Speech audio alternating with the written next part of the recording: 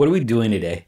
I can't believe you didn't believe me. I I can. You remember that? You remember that time that you sent me a recording through a candy dish to convince me that your camera was broken? or all of the other times when you said I can't hear you, but you actually could. It worked so well. oh man, the boy who cries wolf. You're the boy who cries eaten. I can't hear you. He eventually gets eaten by the wolf. Well, turns out the cops that trap speeders outside of your church will not care to that's help true. you. And that's the thing we talked about before we started recording. Right. There's a lot of things. There's no right. context for you guys, both of you listening. Yeah, good times. I think we're still on uh, this Smalcald articles, and I think we get to talk about every Lutheran's favorite soapbox, the papacy. I like that we're just sort of starting it that way. Like, here's something that I get to be aggressively angry about that's probably not going to affect your life. Let's spend some time listening. Right. Isn't that the truth? Uh, I was actually uh, hoping that maybe that's how we could uh, uh, uh address this because, uh, again, yes, this podcast, as everything with higher things, I've been told, is supposed to be for the youths. Um, and so hopefully there's a couple youths that actually listen to this. Um, so for them, or even not for them, for the five and a half other people who listen, um, half. Um, how does this actually affect them? Like before, we kind of talked about uh, the invocation of saints and, and that and the mass and the mass works because from the outside looking in, it, it, looks like the same thing that we what we do at the Lutheran Church and what the Catholics do. There's some there's some things that you can point out, but really you're like, what? How, how is it any different? So we talked about all those differences. Here it just seems like the the Lutherans' throwaway line is uh, uh, "We hate the Pope," and but how does that play out into everybody's daily life? Right, um, especially because the Pope's kind of a, a, a he's pretty laid back dude right now. Um, yeah. And it just makes you sound angry all the time. And well, that's that's how we do our politics, not our church, kids.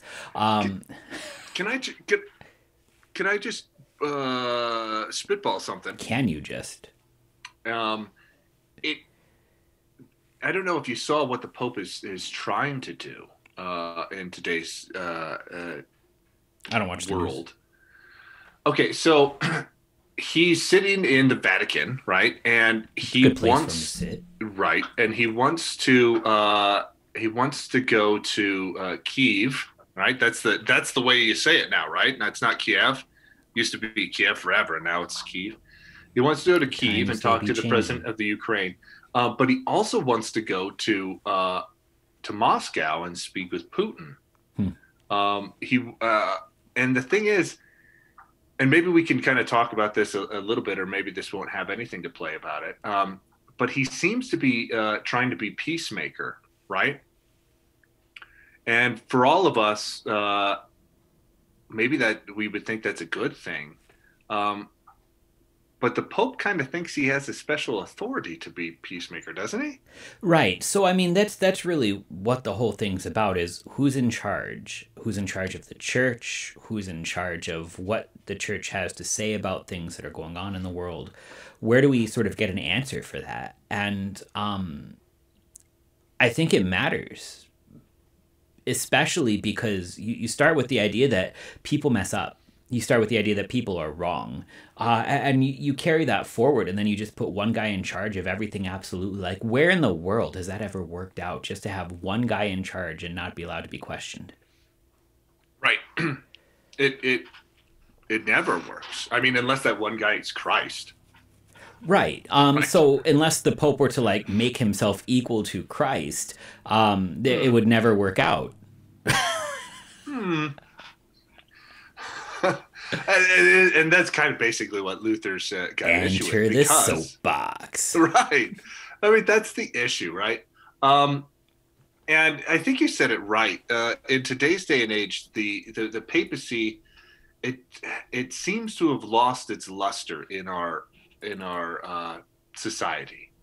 Um, it, even within the last couple of, of generations, and maybe that's just with the the entirety of uh, the the global Christianity and global church kind of uh, on the decline.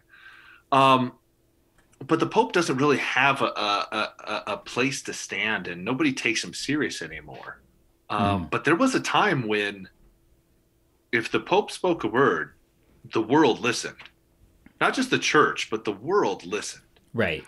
Like I, I, I don't remember because uh, I wasn't alive, but I remember hearing about uh, JFK being elected and everybody freaking out because he was a Catholic and they thought that like the Pope was now in charge of the country. Right. Um, and I guess theoretically, if that were true, that'd be scary. Yeah, yeah.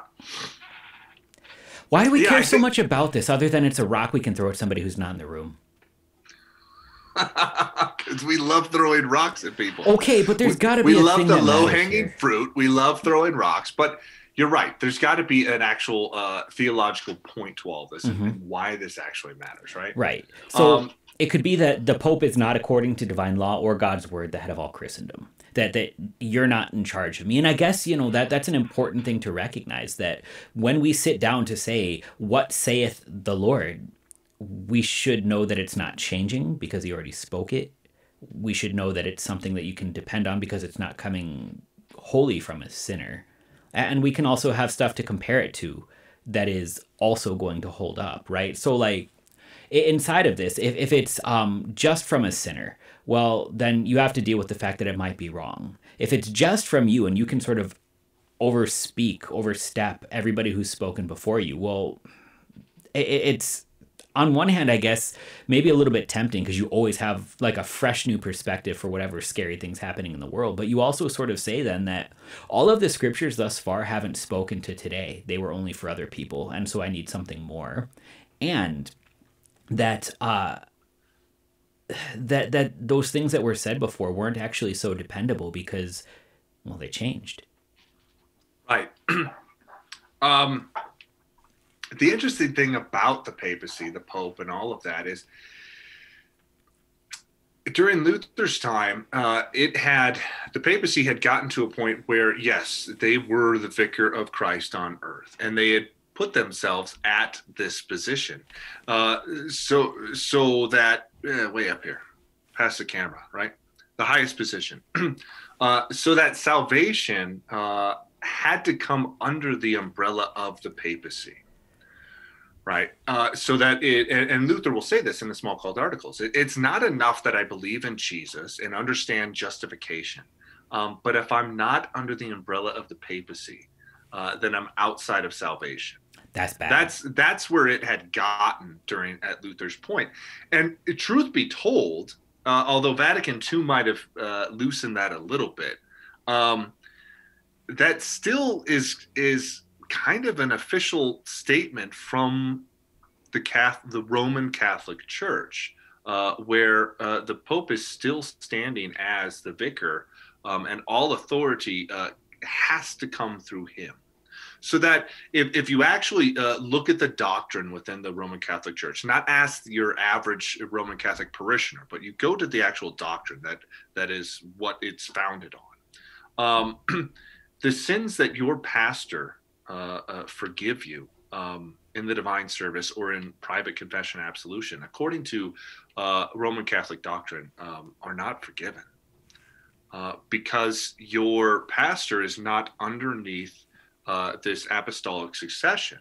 Uh, he's not receiving this authority from the Pope and therefore he's not in the office of pastor in order to forgive sins. The keys aren't uh, in the, the the congregation's hand to be handed over to the pastor to be spoken to you and for you.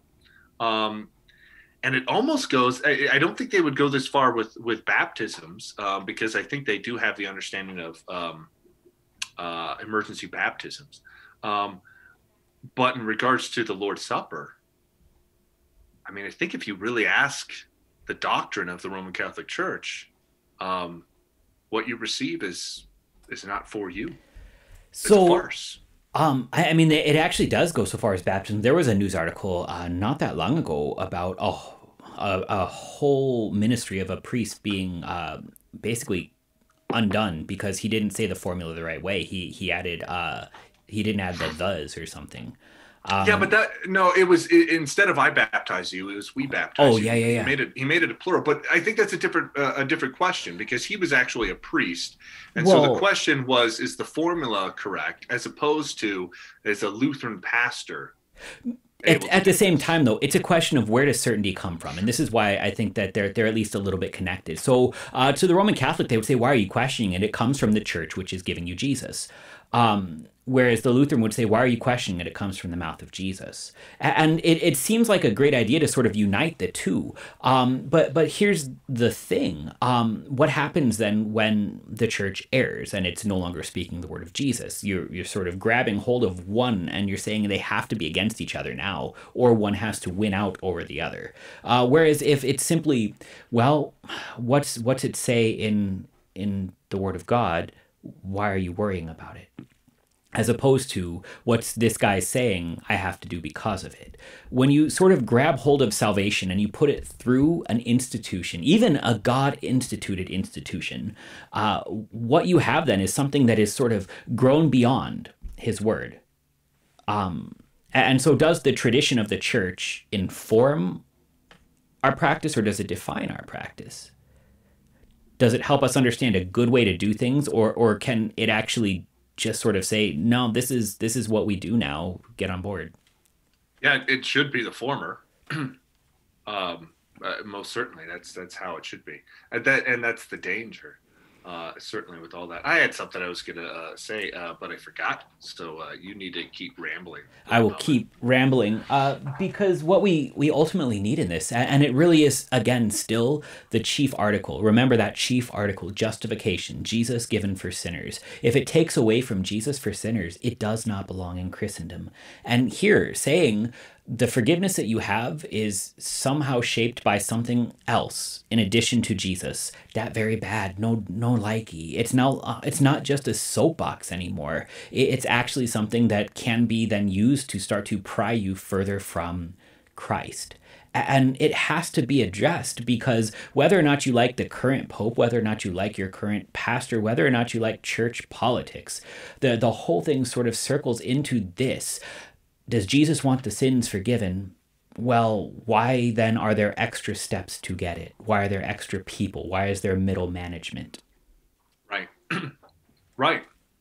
Um, and the whole idea within the papacy is uh, is that this is uh, this is by divine right. Um, and I think the Lutherans will, uh, as you alluded to, um, I think um, the Lutherans will state, and Luther doesn't so much here. He actually takes a, the the negative spin on it later on in the Power and Primacy of the Pope, which is kind of an appendix to uh, the Smalcald Articles. Uh, Melanchthon uh, kind of takes a positive spin on it, basically saying, if if the Pope and the Roman Catholic Church would would admit uh, that the papacy is not an office held by divine right, um, but is still a maybe a good thing to have uh, so that uh, the political things of the church can actually be worked out in appropriate and, and, and god-fearing way. Um, then we might even be able to get on board with that with sitting under the pope. Uh, the, the problem is is uh, they have this idea that the papacy is by divine right uh, put there and put there not just for political purposes to make sure everything runs smoothly, but in regards to ecclesiastical, churchly stuff of the forgiveness of sins and dictating where and, and how salvation is actually uh, given and received. And that's the whole issue. That's the problem that the, the Lutherans have with the with the papacy, even still to this day. Right. It, it's not that we're questioning whether or not there should be pastors, something that, that sort of gives you Jesus, because that's to us what a pastor is. It's it's the person who gives you the words and gifts of Jesus. That's all. Um, it, it's that as we start to do this, when you start to add to those words and promises and gifts of Jesus, or add, uh, or, or, or even just sort of say this can exist independent of the words and gifts of Jesus, I have an issue. Right. So, so let me ask you this, because we often hear again uh, as uh, Lutherans, whether they're pastors or lay people. I remember as a youth hearing this and loving to tout this uh, as as as a, a high schooler. Um, uh, that the Pope or the papacy is the Antichrist. Now, we don't have those words being said here, um, although he alludes to Revelation chapter 12 or whatever. Um, Luther does. So maybe implicitly he does that. Um, what what does that mean and do we still hold that and how then can we actually speak that truth in love to our roman catholic neighbor or friend who's on our baseball team and they heard the lutherans think that the, Holy Father is the, the, is the Antichrist. Right. What it, do we say? It does say that. It says this teaching shows forcefully that the Pope is the true end Christ or Antichrist. Oh, that's quoting, right. Uh, First John yeah, chapter right. two. Um, but it, it's it's first let's let's define the word because it sounds really really demonic. Like it, it sounds like somebody who is very very intentionally trying to um, do bad things under the guise of good things when inside of this it's it's really just anti-christ. So apart from christ uh, against this. So you are either saved by jesus or by something else.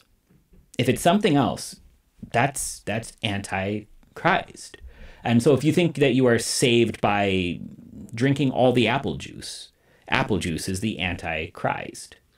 John John talks uh, uh, the the evangelist and apostle John uh, uses uh, the the language antichrist I think the most uh, in in his epistles and in uh, obviously in Revelation.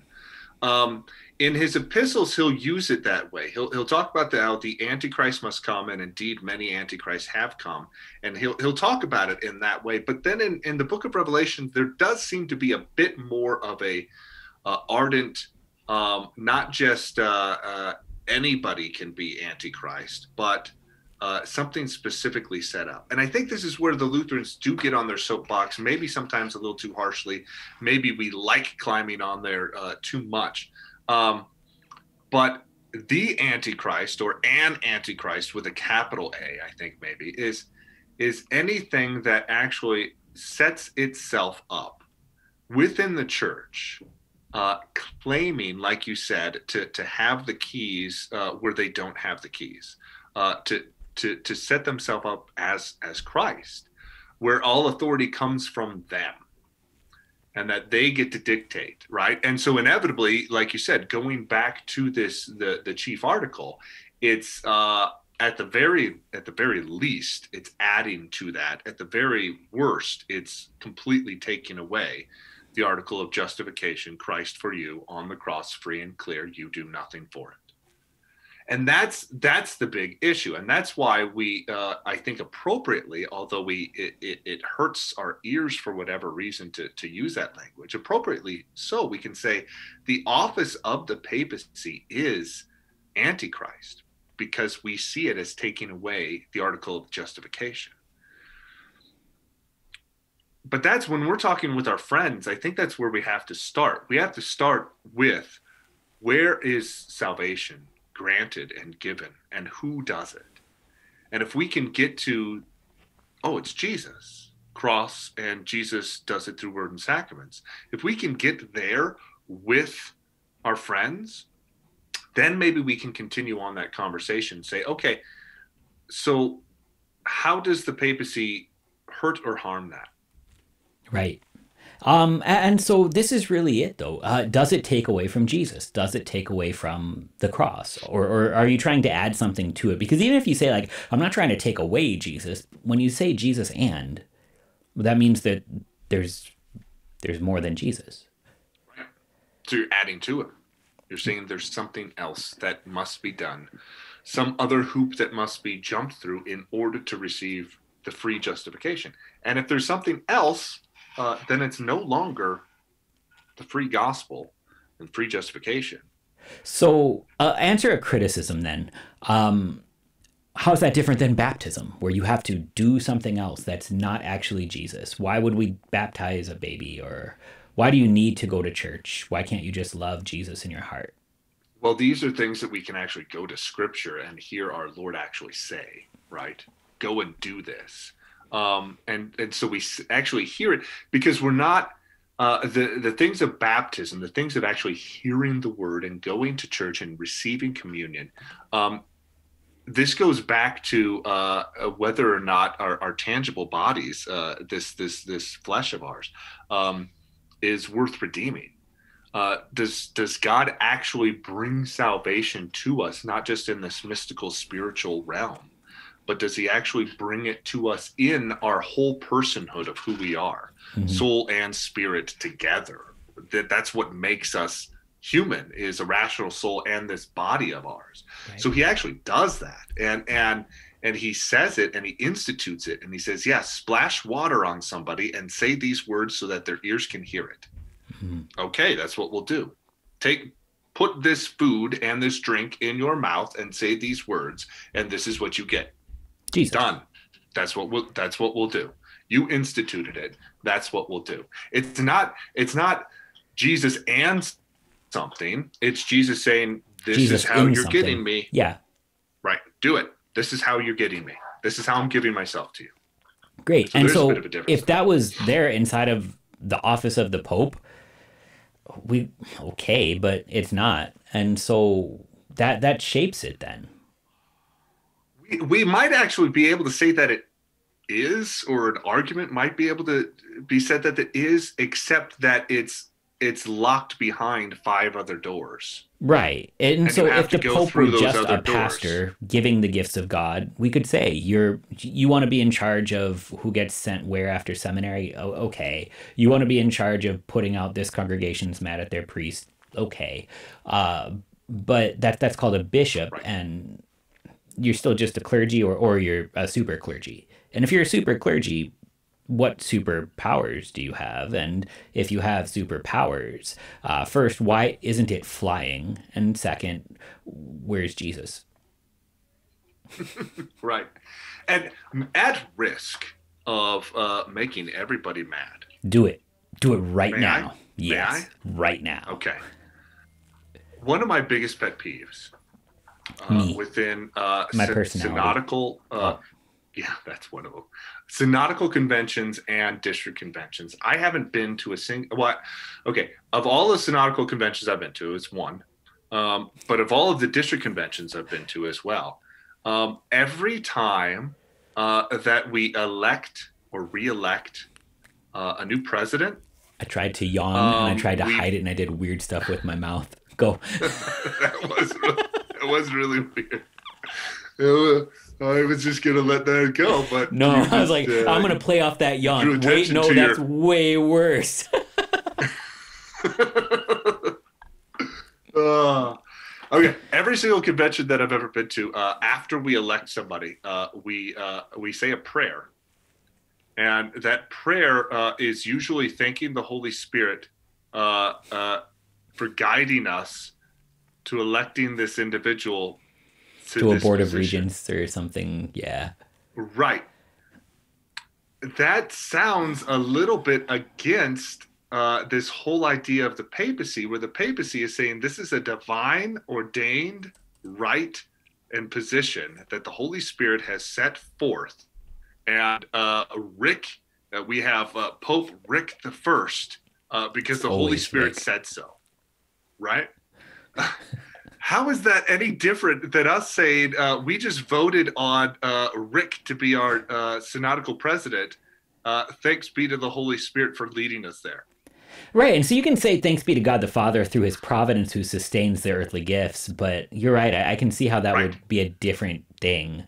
Um, also, well, and and then and then what? I mean, I I think the danger, and I I guess I haven't seen this happen yet, but what's the danger if that's the prayer and the mindset what's the danger of district presidents or, or anybody in elected positions within the church then the danger is for them to be like mm, yeah well god wants me Spirit here put, so the holy spirit put me here are guys. you really disagreeing so, with the holy spirit or right. is that what you want to do it's amazing that we so i think so easily could fall into that trap and it's a dangerous trap because it sounds good um, one and two uh, we all love power like uh, if, if you look at the history of the church uh, uh and we're probably uh, going to need to wrap up here soon but if you look at the history of the church and how uh, the bishop in rome actually got to be uh, first the the first among equals of all the other bishops, and then actually became not just a bishop but a pope. Um, it's all because of the desire and want for power, and, and it's a slow process, but inevitably it, it gets to the point where uh, he's no longer the first among equals. Uh, all the rest of the bishops don't matter. They all have to actually uh, kneel down and say, "Yes, this guy is is the man." And really, the only way that you can say that then is by saying, "Oh, well, yeah, God put me here."